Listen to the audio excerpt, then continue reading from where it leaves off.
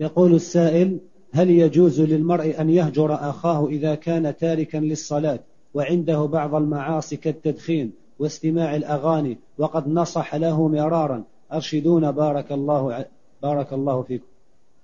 إذا كان تاركا للصلاة فإنه لا يجوز محبته ولا يجوز مجالسته لأنه كافر.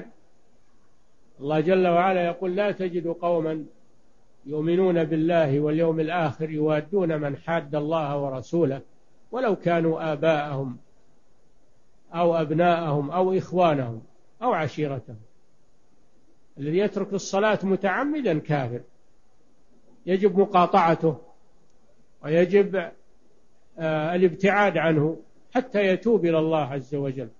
ولو كان أخا لك أو أبا لك أو قريبا لك لأنه عدو لله. الله جل وعلا يقول يا أيها الذين آمنوا لا تتخذوا عدوي وعدوكم أولياء.